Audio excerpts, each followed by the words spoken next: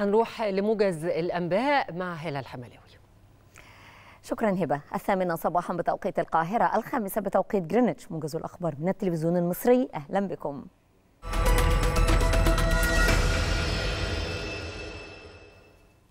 يشارك وزير الخارجية والهجرة وشؤون المصريين بالخارج بدر عبد العاطي في أعمال اجتماع المجلس التنفيذي تمهيدا لانعقاد الدورة السادسة لاجتماع القمة التنسيقية للاتحاد الأفريقي في غانا. وعلى هامش أعمال الاجتماع التقى وزير الخارجية بنظيره الجنوب أفريقي رونالد لامولا.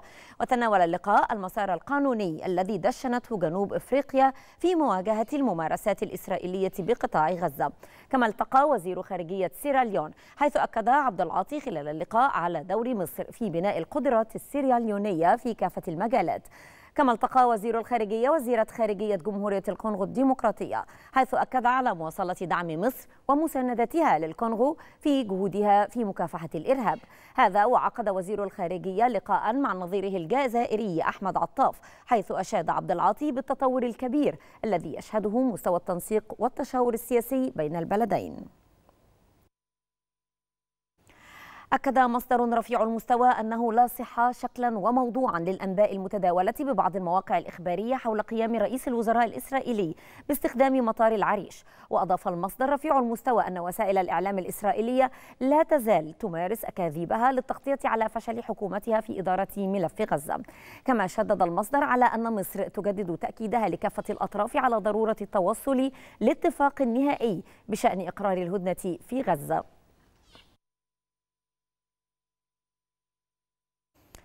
استشهد ستة فلسطينيين في قصف طيران الاحتلال الإسرائيلي منازل ومجموعة فلسطينيين في مخيم النصيرات وسط قطاع غزة.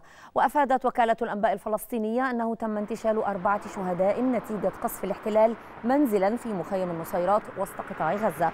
وشهيدين عقب استهداف الاحتلال لمجموعة فلسطينيين على شارع الرشيد بالطريق الساحلي غرب المخيم حيث جرى نقل جثامين الشهداء إلى مستشفى العودة في المخيم.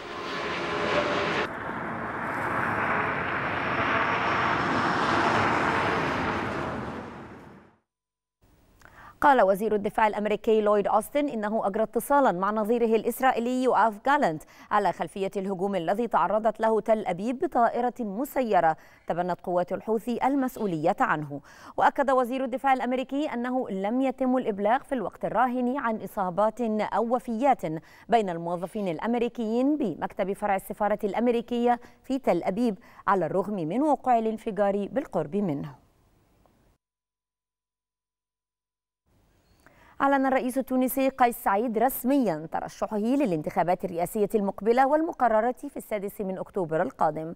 وقال سعيد في مقطع فيديو نشر على الصفحة الرسمية للرئاسة التونسية إن قرار ترشحه يأتي بدافع الواجب الوطني ولمواصلة مسيرة النضال في معركة التحرير الوطنية.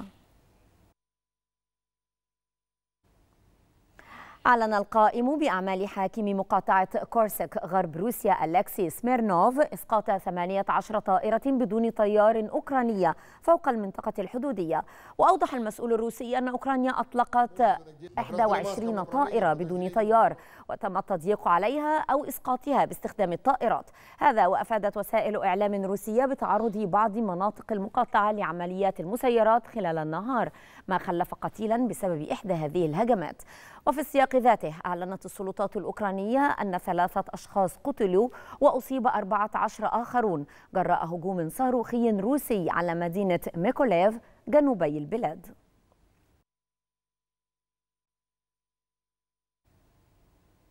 يطلق نائب رئيس مجلس الوزراء ووزير الصحة والسكان خالد عبد الغفار غدا الأحد.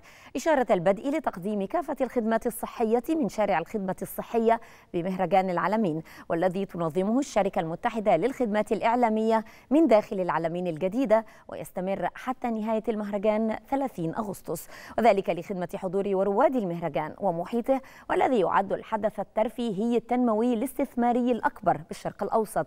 كما تقوم منطقة الخدمة الصحية لوزارة الصحة بتقديم خدماتها لمنطقة الساحل الشمالي كاملة من داخل المهرجان بوجود كافة المبادرات الصحية الرئاسية والتي انطلقت بتوجيهات الرئيس عبد الفتاح السيسي.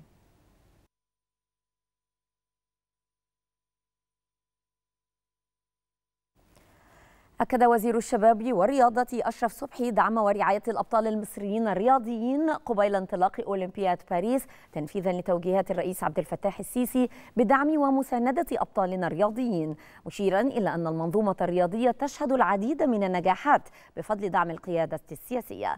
ولفت الوزير خلال لقاءاته المستمرة لأبطالنا خلال معسكراتهم التدريبية سواء في الألعاب الفردية أو الجماعية إلى حرص لاعبي مصر على تقديم أفضل ما لديهم من أداء وتحقيق ميداليات أولمبية. انتهى موجز الثامنة وعودة لاستكمال باقي فقرات برنامج صباح الخير يا مصر بعد الفاصل.